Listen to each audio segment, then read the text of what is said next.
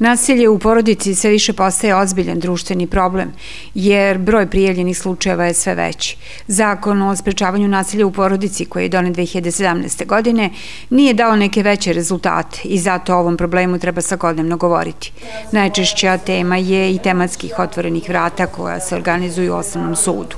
Kao i na sličnim skupovima i na ovom se posebno potencira na osnaženju žrtve nasilja da isto prijavi. Mi pokušavamo da potpomognemo, ajde da kažemo da sistem što bolje funkcioniše, tako da znaju da kada se jednom odluče i kada skupe hrabrosti, da onda nisu prepuštene same sebi u smislu te krivično-pravne ili građansko-pravne zaštite, odnosno one zaštite koje pravosudni sistem pruža. Nama je to najbitniji cilj i pored toga bitno je to osnaživanje kada prođe, ajde da kažemo, ta krivična i građansko-pravna materija, kada, a posle toga slede uglavnom Posle krivično-pravne zaštite e, slede razvod, alimentacija, starateljstvo, deoba imovine.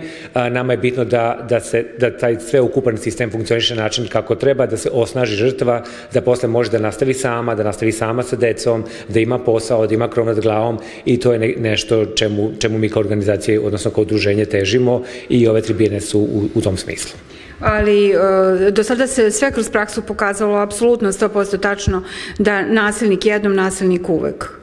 Pa mi kada, evo, tu su i Centar socijalni rad e, e, koleginice, mi kada ovaj, slušamo pedagoge, psihologe, sociologe, oni zaista kažu da, da je, mislim ja sam pravnik, ali oni kažu da je uvek, uvek postoje, žene se često ne odluče da, da prijave, ili ako neko drugi prijavi, ili ako se one uplaše pa prijave, ali onda se ne odluče da nastave krivično gonjenje, ne pridruže se gonjenju, neće daju i, ovaj, iskaz, a ovaj, međutim, baš smo to pitali, kažu nam, uglavnom se posle opet vrate. Nažalost, jednom nasilnik uglavnom bude uvek nasilnik i onda pre ili kasnije se opet nasilje desi. Da li je možda u pitanju to što su ipak blage krivične sankcije? Ja mislim da ovde problematika nije toliko u samim krivičnim sankcijama, koliko u, u tome da, da žrtvi stvarno treba snage da, da se odluči da prijavi, da prijavi ovaj nasilnik. Ima i mišljenja koja su utemeljene na dugogodišnjim istraživanjima da nije tačno da jednom nasilnik uvek nasilnik i da se njima bi trebalo raditi jer možemo da kažemo da je neko rođen kao nasilnik. Zapravo nije. Zato postoji jedan, jedna tendencija koja je bila aktualna negde 2014. 15. i sa tim se zapravo i stalo.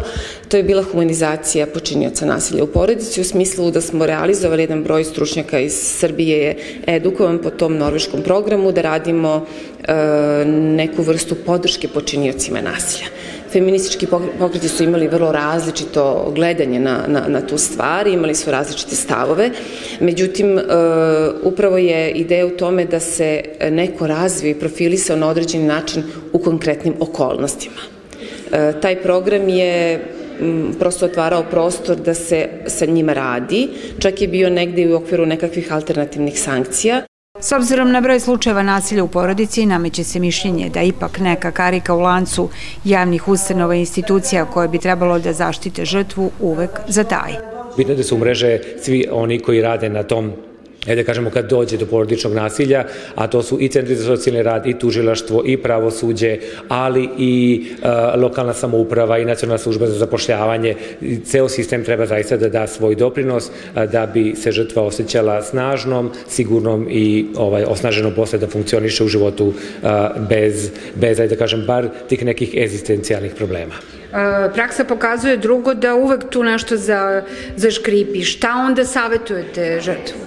Kao pravnik? A, mislim da je najgora opcija da se nasilje trpi, a sve drugo je ipak manje zlo. Naravno da bi bilo mnogo lakše da sve funkcioniše savršeno i da ovaj, od tog trenutka prijeve ona bude pod puni, ajde da kažemo pod budnim okom i da ima sve moguće uslove, ali nadam se da ćemo doći jednom do toga. Trpljenje nasilja je ipak najgora opcija. Naš savjet je e, i naša misija je da razvijemo pristup u kome je m, tolerancija na nasilje nulta i da je u stvari život bez nasilja e, jedini model života koji savremena osoba, savremeni čovjek, htjela sam da kažem žena, mislim, ali mi imamo i žrtve nasilja koji su muškarci i naravno uvek decu, s tim što je statistički broj žrtava žena značajno prelazi broj muškaraca, ali ne želim da budem negde nekorektna i da ne kažem da nemamo i muškarce. Ali da li je uopšte moguće dostići nultu tačku s obzirom na pa dešavanje? Celo društvo da se menje, znate. To bi značilo vrednostne nekakve pomake, promene. Kroz tematska otvorena vrata građani mogu da se informišu o svojim pravima, ulozi pravosudnih institucija, postupcima koji su im dostupni i načinima ostvarivanja pravde.